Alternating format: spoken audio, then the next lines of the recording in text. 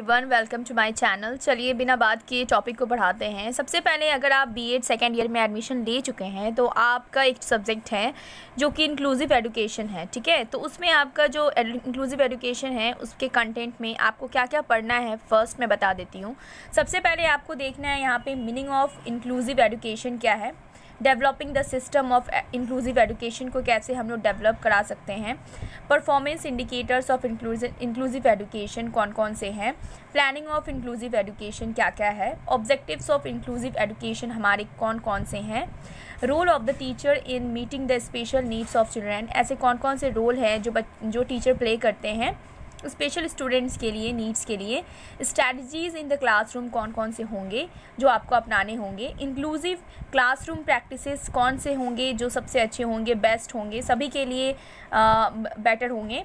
Opportunities and challenges of inclusive education कौन कौन से हैं, जो आपको फेसेस करने होंगे।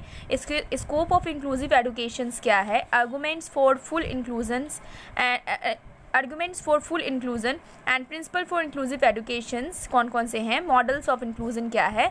Benefits of inclusive education to children without special needs इन पर ध्यान देना होगा।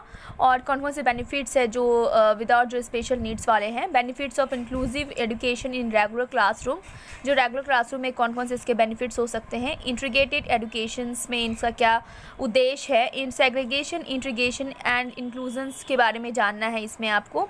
Challenges to implement integrated education strategies to address the changes and mainstreaming and inclusion inclusive education आप कैसे कर सकते हो?